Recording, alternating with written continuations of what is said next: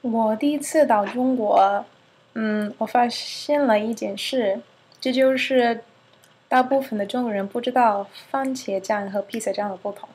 我觉得这个有点奇怪，但是我是一个美国人，所以当然我觉得很奇怪。所以我第一次在中国吃披萨，我发现了他们用番茄酱。呃，是我吃的是用番茄酱的，不是用披萨酱的。我觉得特别特别不好吃。然后我告诉我的朋友，他告诉我，啊，你你去吃披萨的地方，他们的披萨特别不好吃，你应该去别的地方。所以我跟他啊，我们一起住别的地方，然后在这个地方我吃的披萨很特别特别好吃，是。